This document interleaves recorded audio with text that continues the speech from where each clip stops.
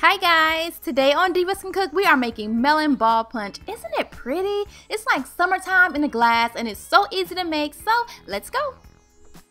So we're to start with three ripe melons. I have watermelon, cantaloupe, and honeydew. We're to slice right into that cantaloupe, right down the middle, and then scoop out all of those icky, slimy seeds. We don't need them. We're to do the same thing for the honeydew melon. Just get your little spoon, scrape it out slice into that watermelon and we are good to go. Aren't they beautiful? And it smells so good. They're really ripe, which is what you want for this recipe. Then go ahead and press that melon baller right into the flesh of the fruit. Give it a turn and you have these cute little adorable melon balls. This part was actually pretty fun. I really like doing this part.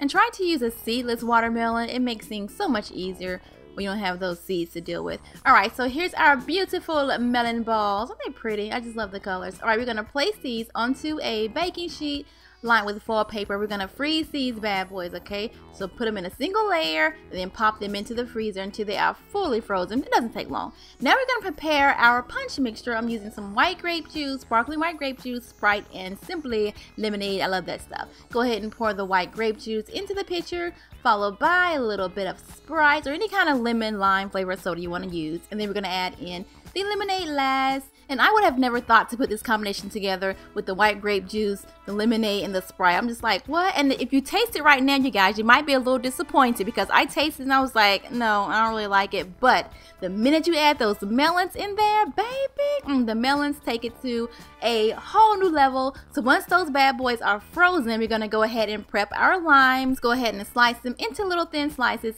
and then go ahead and pick off some beautiful fresh mint leaves. And then we're gonna start putting this punch together. And here's where the magic really happens as far as the flavor is concerned. In my opinion, go ahead and add a ton of those melon balls to the pitcher, add in some of those lemon slices, I mean those lime slices, and then we're gonna put in some fresh mint, okay, just like this right here.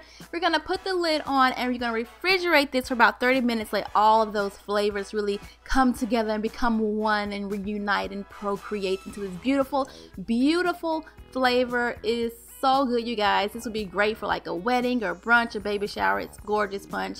Now I'm using the leftover frozen melon balls as ice cubes to keep the drink nice and cold and it looks so pretty. Go ahead and add some lime to garnish it and some fresh mint leaves and there you have it. The mint really adds that nice cool touch to it. The lime is so tart. Just everything is just beautiful. I really like this punch and I think you guys are going to love this one too. You can find the recipe on my blog divascancook.com with a ton of other recipes so go on over there and check it out. Thank you guys so much for watching. Later.